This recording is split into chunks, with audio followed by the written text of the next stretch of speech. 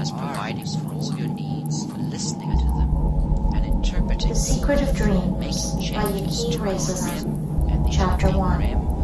Dreams, attention to dreams. detail, dreams are Every, everybody so that there are few very places importance to the phenomenon of sleep. It is as if Before we can begin to comprehend, even analyze dreams, whether our dreams are symbolic or otherwise, we must first avert from our mind materialistic conceptions of what the individual will call man really is. The external or physical man is no more the man than the coat he wears. The physical man is only an instrument of which the, real inner or soul expresses itself in the physical universe.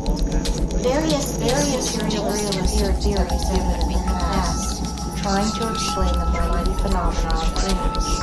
Theories have always always been more or less unsatisfactory.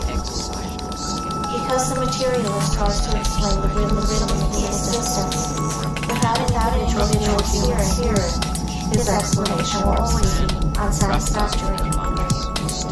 Dreams afford separation of soul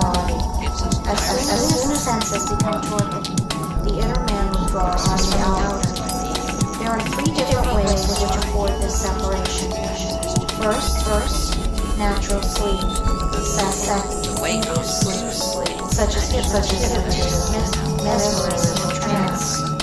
Third, death, death.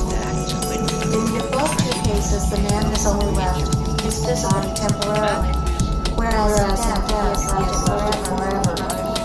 In the case of death, the link which unites and body, as seen by clairvoyant vision, is, is broken, but in The in astral. He now functions in his astral body, which becomes a vehicle for expressing consciousness. Just as the physical is an instrument for expressing consciousness. Consciousness is not annihilated like the astral.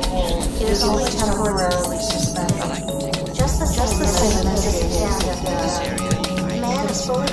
In the astral regions, flowing through the body, body in the astral manner. This astral body is in physical and extends little beyond, little beyond it.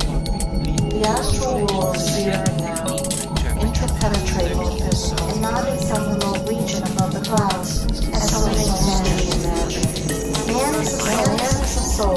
He has a body. He expresses himself in three worlds. He comes in the physical body, body is physical, social, and mental worlds.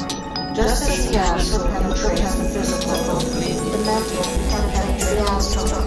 The astral body body in which man functions during sleep the body emotion desires, and expresses his desires and emotions in the physical body. The astral body in which man functions sleep is very subtle. subtle matter. It resembles the physical.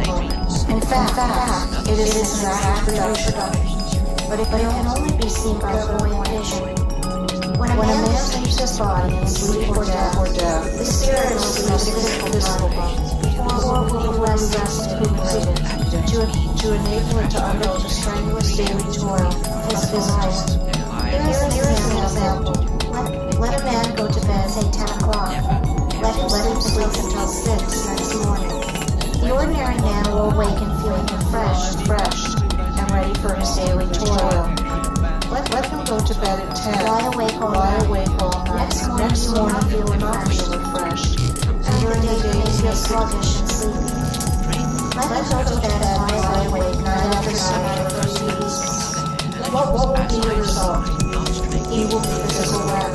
Although he may have he may have six six hours lying in bed, he will not be recuperated and this.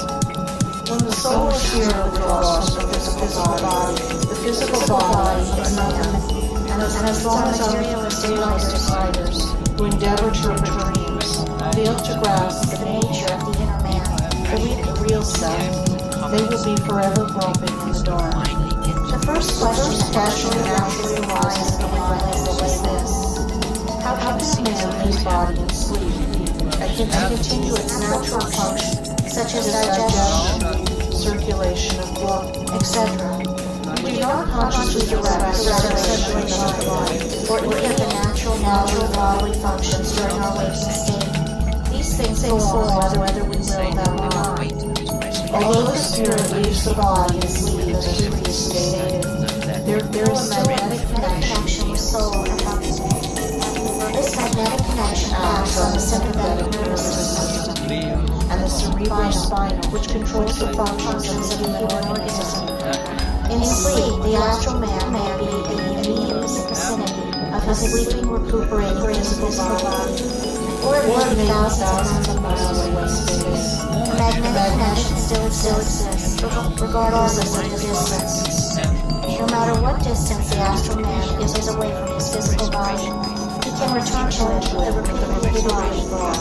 the is for the soul the brain is instrument of the soul. Subconscious. For when our mind is centered on a certain train of thought, these thoughts are to filter through into the conscious. The subconscious memory cannot be called a dream. For it is only a memory of something we have previously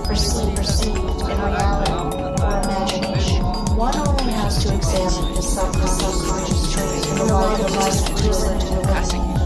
Telepathy does not explain, dreams. For just as it is possible for minds to receive telepathic communications, thought transference from another in the waking stage, it is also possible for so-called dead, dead to have telepathic communication with the living. For thought is a power, its limitation is unknown. While many of our dreams may be traced to subconscious memory, or telepathy, telepathy and habits of material affairs of our daily lives. Others are others are about the astral happenings of the ego while functioning in the etheric regions. There we meet not only the misnamed dead, but also, also many of those who are still in the physical body. And let me state here that many of our difficult problems of physical life are worked out in sleep. The old axiom, I will go to sleep on it, has a greater, has a greater significance than is generally attributed to it. For sleep and human dreams have more to do in shaping your lives than you have any idea. of. You can go to school and sleep, sleep, and study anything you are studying in physical life, and make marvelous progress. This requires training, training, however. Keep free from evil thoughts essential to enable the sincere investigator to enter a larger state of consciousness. For thoughts of our waking state have a more or less effect on the ego during sleep. Every day harbors a certain train of thought, whether in business or pleasure. pleasure. This train of thought has a tremendous influence on the ego. In fact, it shapes one's destiny. Choose well your thoughts, for your choice is brief and yet endless. Annie Besant in Thought Power. Man may be said to live two lives, one when he is fully awake, and the other when he is asleep. These two lives, of course, is the, is the expression of his one existence. The highly developed, spiritual man, as he retires into the interior during sleep, realizes, realizes a state of spiritual bliss that is far beyond the stage of ordinary mortals. Man has, been in the habit of looking at himself as a mass of flesh and muscle, with a slight chance of realizing the divinity within him. As the earnest soul gradually arouses himself, he finds his proper place in the universe. For within him are all the attributes of deity, and when he reaches the end of all evolutionary journey he will find himself and know what he is destined to be a god. It was something that I always felt was very helpful. Aware of this classification.